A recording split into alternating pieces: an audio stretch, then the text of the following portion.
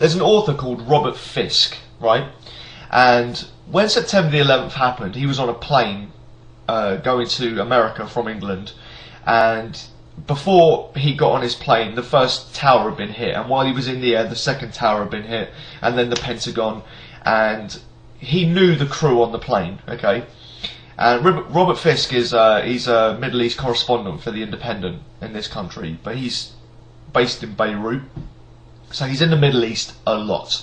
And before September the 11th had happened, he had interviewed Osama bin Laden three times. So he knew Osama bin Laden, he knew something was coming. So when he figured out what was going on and by the, the time the second plane hit the Twin Towers, he had the same indications as everybody else. It's obviously an act of terrorism. And him and another person on the plane were walking around on the plane to look for people they didn't like. And they both came up with roughly the same number, which was 13, 14 people and they were all Muslim, either having beards, you know, worry beads, reading the Quran, or looking at him because he was looking at them, you know. And that's what Osama bin Laden did. He created, he wasn't separating um, innocents from guilty people. He wasn't separating, you know, the East and the West. He was separating innocence from innocence. And that's what Robert Fisk said. And something else Robert Fisk, Fisk said was, He's not going to let 19 hijackers change his life, and neither should you. That was a clip from a video by a friend of mine called uh, Jovian. He's now on the channel I'm Colloid, and um, he was actually the first user who ever gave me a shout out on here. Go and go go and subscribe to him. I was in London on the day of the 7-7 terrorist attacks. Staying in North London, been there for about a week. A friend of mine um, called John, his dad died. Uh, not John the other John, uh, some other guy I know called John. Um, he's uh, his dad died in uh, in the attack. It was funny because before before 2005, the BNP always pushed anti-Asian, anti-immigrant, anti-black policies. They did these explicitly. That all disappeared after 2005. Nick Griffin didn't want to, didn't talk about blacks or Asians or anything like that the whole language and the culture changed, and now it became this idea that uh, it was going to be Muslims. And you won't find black or Asian or any racial terms. They don't use the word race.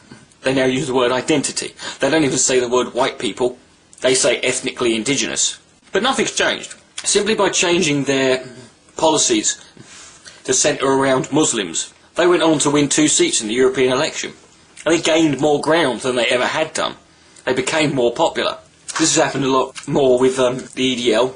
A recent poll, it was by Searchlight magazine, they did a poll and they, realized, they found out that about 50% of this country said they would vote for someone like the BNP or the, you know, the EDL if they weren't so violent. That might be their undoing. But this is what I sort of try and get at because I don't believe anyone out there. Can anyone out there tell me that you honestly believe the agenda of Nick Griffin and the BNP has changed? It just so happens now they only focus on was they don't care about race anymore this guy who for so long was denying that was it Holocaust denier, racist and homophobic st statements all the goddamn time, and anti-immigrant statements, statements about Asians. And by the way, Nick Griffin also met up with Colonel Gaddafi. They wanted to form some sort of uh, nationalist sort of union, which is kind of fucking retarded in and of itself. Jovian mentioned uh, in his video, a video he did, um, it was a response video to David Duke. Now, David Duke's another good example. David Duke, for the few of you who probably don't know, David Duke has a YouTube channel, Dr. David Duke. You go look at his videos, he doesn't talk about race, doesn't talk about any of that. He talks about Israel and Zionism. And the sad thing is, and you go to his videos, they get like, you get the 20 minute videos, I don't watch all, a lot of them, tens of thousands of views, and the videos are all like, the likes are all sort of, you know, he's very, very popular. And it's because people, they, they hear the word Zionism, Israel, and they go for that anyone can see this is David Duke. It doesn't matter what he's whether what he's saying is actually true because he, he, he more than likely makes fair points in his videos and states facts about Israel and Zionism. I've got no problem dealing with that. But don't expect me for one minute to give this guy any credence, because I know when he says Israel or Zionist, he's saying Jew. And he just, he's using the language he can to get as many people on side to give him traction so that if, God forbid, one day he gets that power, then he can start being honest. Then he can start being sincere about what he says. I understand that listen to the message, not the messenger. Well, I have a problem with that. It doesn't matter how right the message is. If the messenger is David Duke, I've got to sit there and question how honest the message is. You can't just always listen to the message because messages in and of themselves are no good. If you only listen to a message, you know, you should really care whether the person saying that message is actually sincere and whether once they've got you on their side and got your attention, whether they're going to keep that message consistent, whether they're going to push another message into the fucking background. And messengers are their message. That sort of idea is, is very nice and lovely, but it doesn't really work. I remember being London Underground, sort of in summer of 2007, with about eight people in this tube train, and it was late at night, and this old Muslim guy gets on uh, gets on one of the stops. You know, quite to say old, he's like you know probably in his like late fifties, possibly like that. You know, the full gear, the beard, the beard, the hat, the get up, Quran under his shoulder. No one's paying any attention. No one pays any fucking. If you've ever been on London Underground, no one pays any fucking attention to anything that goes on down there.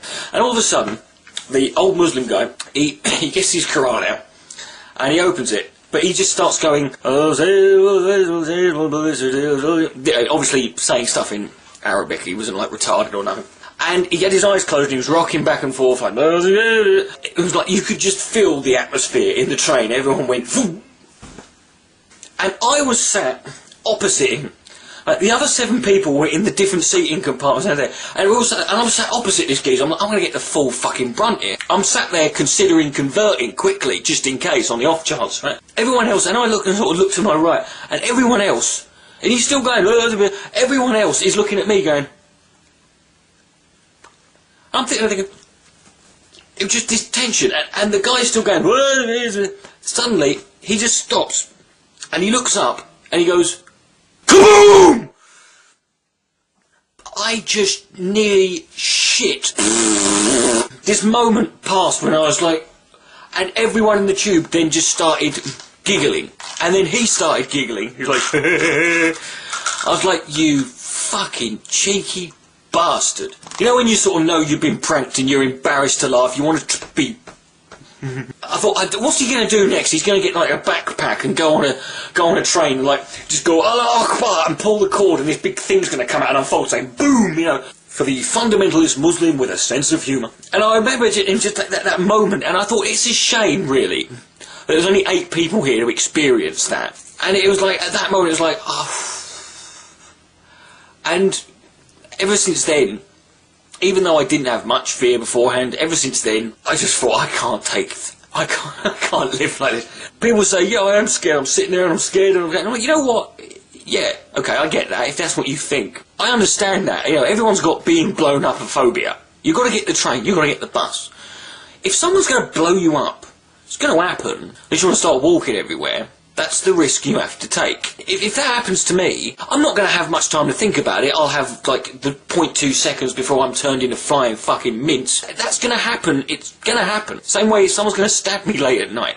It's going to happen. Someone's going to beat me up and steal my wallet. It's going to happen. Because if it if it happens, I want to sit there and go, well, at least I was, at least I enjoyed myself and relaxed. Rather than, shit, I've lived my life in absolute abject terror this entire fucking time, and it's fucking happened anyway, it got me nowhere.